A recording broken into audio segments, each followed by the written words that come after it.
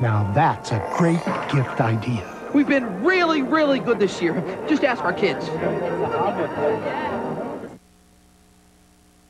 I'm Roger Mudd. Welcome back to the History Channel's presentation of robots.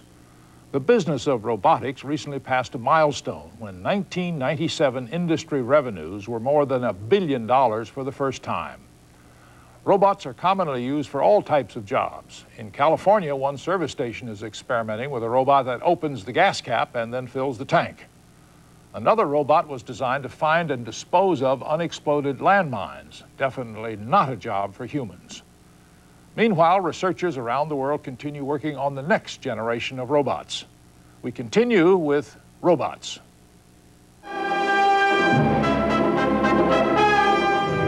Tobor, the most amazing, the most fantastic creation of man's mind.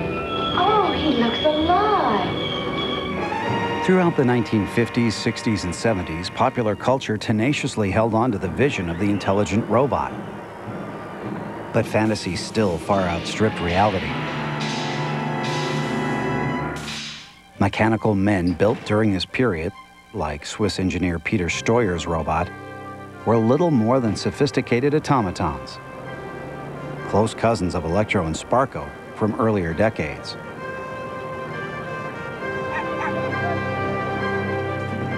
However, researchers were pursuing the dream of a human-like robot, one arm at a time. In the 1950s, highly dexterous mechanical arms had been developed for handling radioactive